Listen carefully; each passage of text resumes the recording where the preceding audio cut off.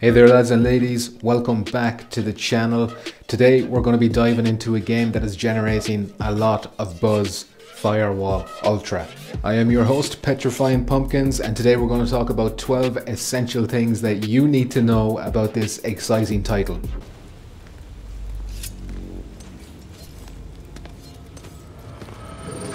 Firewall Ultra, developed by First Contact Entertainment, is a PSVR 2 exclusive title set to release on the 24th of August this month. It's primarily a tactical online PvP multiplayer shooter, but it also comes with a PvE mode that promises to be a refreshing addition to the franchise.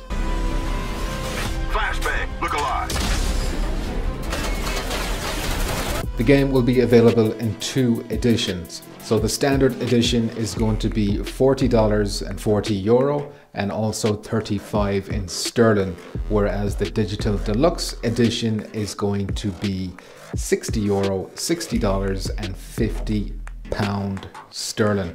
And if you do go for the digital deluxe edition, you will get access to certain bonuses, including a special legendary weapon, early access to four contractors, four exclusive outfits for the contractors, four camouflages for weapons, and an op pass for the first operation. Head to the objective now.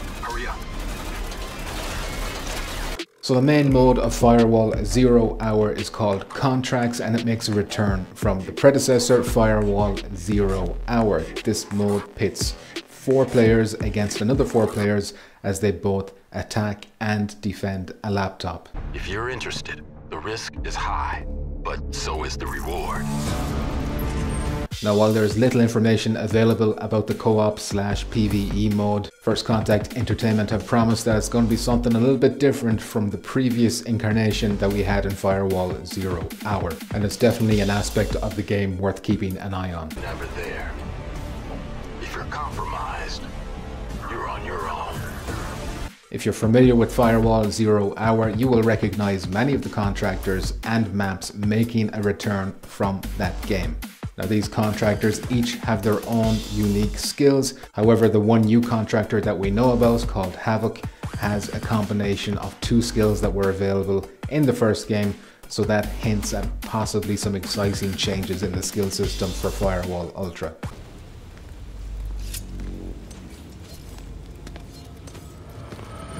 Firewall Ultra is set to run in Unreal Engine 5 and that should bring about some significant improvements both visually and performance wise. One of the major improvements is the move to dedicated servers which should put an end to the host issues that were experienced in Firewall Zero Hour.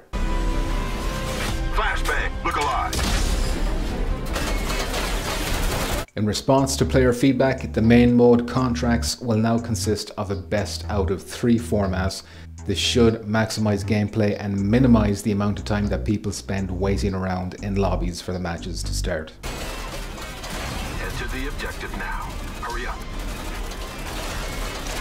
Speaking of the lobby, the game's lobby has now been transformed into an interactive environment that you and your friends can hang out in. You can check out your weapons at the shooting range, or you can mess around with novelty items. A soccer ball was given as an example by First Contact Entertainment. If you're interested, the risk is high, but so is the reward.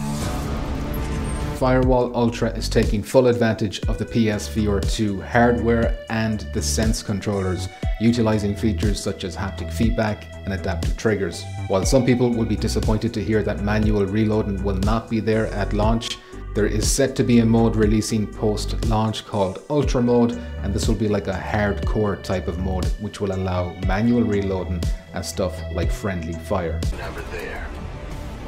If you're compromised, Expect eye tracking to play a significant role in Firewall Ultra, not just to improve visuals with foveated rendering, but also for gameplay features such as selecting items in a weapon wheel, aiming your grenades, and even blocking flashbang effects by closing your eyes before it detonates.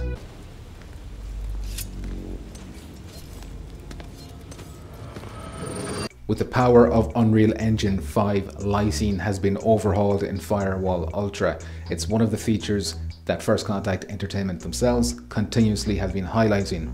This will allow for maps to be darker than they were in Firewall Zero Hour and also make way for the functionality of flashlights and night vision goggles, opening up new strategic possibilities that were not available in Firewall Zero Hour.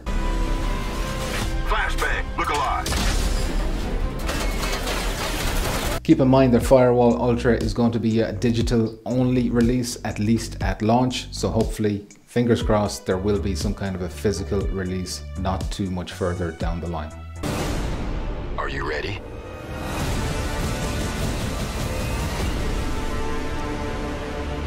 While much remains a mystery about Firewall Ultra, I think it's pretty clear that First Contact Entertainment are going to be pushing some boundaries when it comes to Firewall Ultra and what the PSVR 2 can do.